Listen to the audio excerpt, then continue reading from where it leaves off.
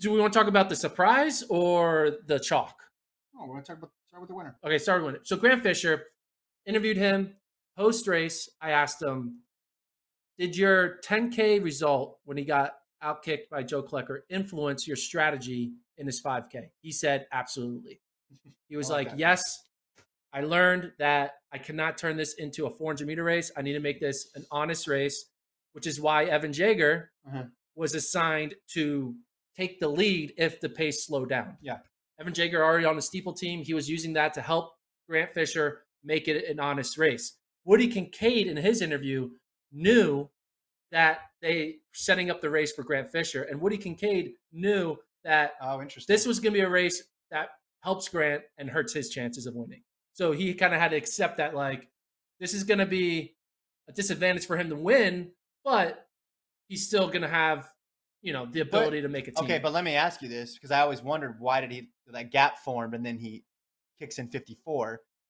Maybe did that play into a strategy of, hey, if they're going on at Grant's pace, people are going to fall off, and I can be there to capitalize in the last 400. Is that yeah, what he said? yeah, he didn't say that specifically, but he was definitely thinking that. I asked him if he had any regrets. He said maybe, you know, he, you know, he was willing to admit that, like, you know, there could have been a chance that like he lets the gap go too far. Yeah.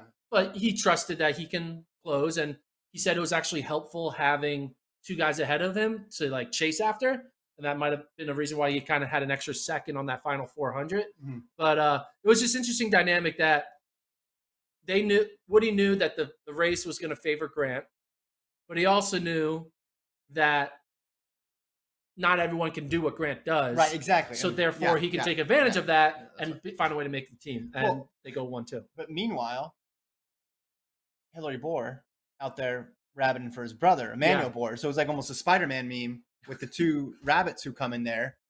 Jay, like, hey, wait, okay, now all of a sudden Yeah. we got two of you. And in a way, they almost worked in tandem.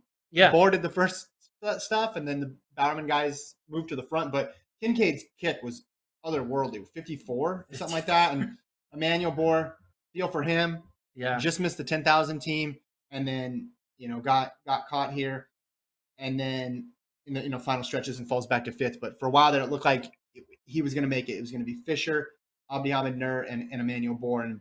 Just didn't quite have enough. I think he ran like 63, 64 something like that for the last last lap while Bor was closing in 54. Um, Nur, though, gets the third spot. And he doesn't win NCAA's.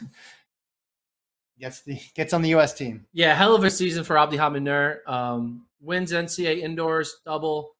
Was dealing with the food poisoning a few days out from NCAAs. He didn't Mhm. want to disrespect though, you know, the loss that he had. NCAA. He said those are great runners.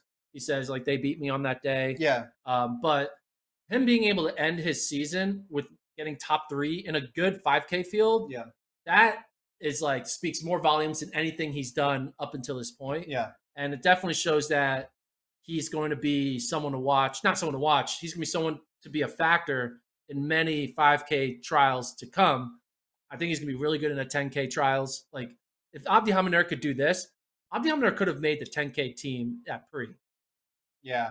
Yeah. I mean, if he's able to get third here, he Yeah, definitely could have. Yeah. yeah, yeah. So, um, hell of a season for him. We did ask him, you going pro or are you coming back for one last run in cross country season?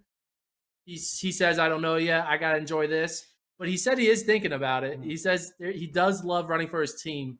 But I do think the contract that he's going to be offered is going to be too hard for him to refuse. As much as he loves NCAA cross country, you love, you know, financial stability a bit better. Um, but his status went from, you know, he was his like contract status after indoors was probably like extremely valuable. Mhm. And then NCAA 10K loss, his contract value went down.